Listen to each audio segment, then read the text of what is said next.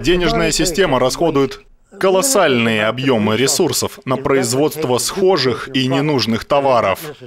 Каждый год меняется стиль автомобилей, добавляются элементы оформления, изменяется их форма. Приобретая ежегодно новую машину, вы сохраняете чувство, что вы не хуже других. Но вся суть в том, чтобы заставить вас купить новый холодильник, новый телевизор. Они изменяют товары так, чтобы сформировать у вас потребность в новых приобретениях. Страна быстро достигнет избыточности производства. В случае, если товары и услуги будут универсальными и общедоступными. Но если каждый год добавлять в них новые удобные функции, тогда людям придется выбросить старые вещи и купить новые. Это называется намеренное снижение эффективности с целью увеличения продаж.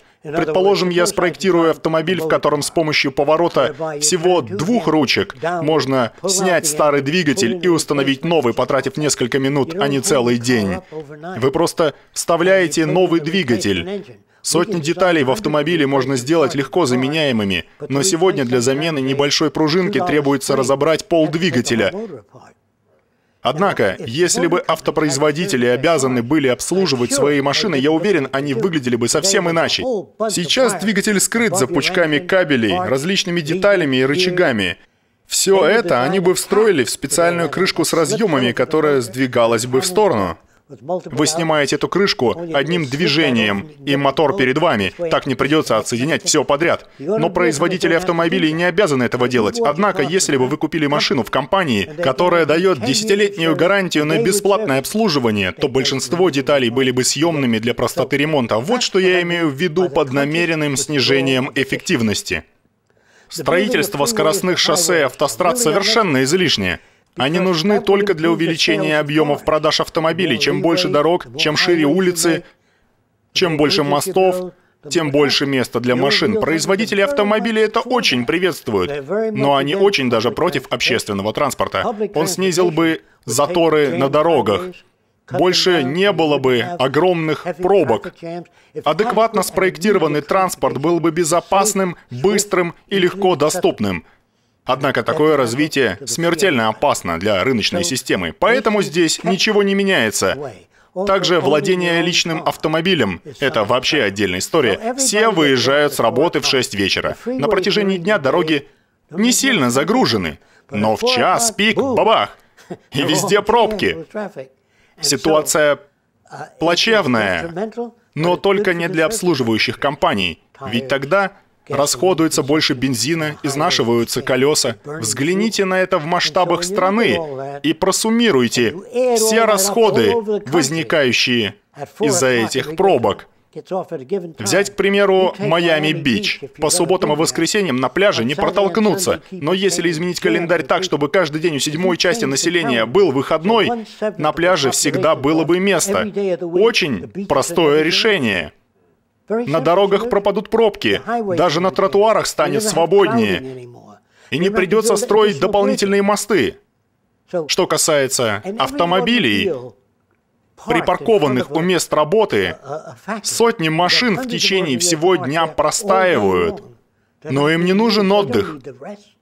Поэтому автомобили в будущем будут доступны каждому. Ряды свободных машин будут ожидать использования. У них не будет владельцев. Сделанные машины будут по последнему слову техники, а их качество не будет уступать Роллс-Ройсу или Мерседесу. Эти машины будут ждать вас. Вы садитесь в них и едете. Когда добрались, вы выходите из авто, и кто-то другой садится и уезжает по своим делам. Таким образом, число автомобилей сразу же снизится вдвое. Ведь все машины, простаивающие на парковках, это сплошная растрата ресурсов и энергии. Не потребуется останавливать работу заводов. Производственным автоматам не нужен сон. Завод, работающий круглые сутки, будет производить намного больше товаров. Таким образом, будут дневные и ночные рабочие смены. Спрашивают, а что, если кто-то не захочет работать в ночь? Тогда вы изменяете поощрение. Например, ночная смена будет длиться всего 3 часа, а дневная — 7 часов. Вы просто создаете преимущество, и тогда появляются люди для ночной смены. Это все очень просто. Когда вам исполняется 25-26 лет, амбиции угасают, потому что нет никакого смысла думать о том, чего вы не сможете себе позволить. К счастью, в Америке много лет назад, во время Великой депрессии, можно было купить автомобиль за 8 долларов. Какой-нибудь старенький Форд. Я сам ремонтировал свою машину, так как не мог позволить себе автосервис. Таким образом, я многому научился. Еще мы наматывали проволоку на кристаллические катушки и делали детекторные приемники. Была возможность достать материалы и экспериментировать с ними. Например, новенькие самолеты, построенные во время Первой мировой войны, продавались в ящиках. Можно было купить Дженни за 50 баксов. По окончании Первой мировой войны парень по имени Карл Орт продавал новенькие пропеллеры в упаковке по доллару. И так я познакомился с одним своим другом. Я купил этот пропеллер, и мы оба сидели перед ним в восхищении. Это была совсем новая деталь от настоящего самолета и всего за доллар. И кроме того, за 150 долларов можно было купить собранный самолет, готовый к полету.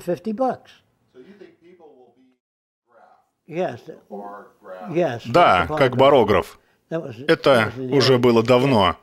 Так у меня появилась одна идея. Банка бобов стоила 15 центов.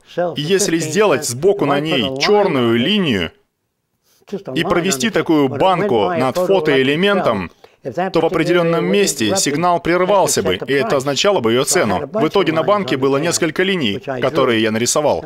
Я рассказал о своей идее владельцам магазинов и супермаркетов. Мне отвечали, ну ты мечтатель, ты фантазер. Ничего не получится. За кассой должен кто-то сидеть. Они были для меня как инопланетяне, которые даже не слышат, о чем я говорю, или не понимают. Я полагаю, что я добился бы большего успеха, если обратился бы к производителям.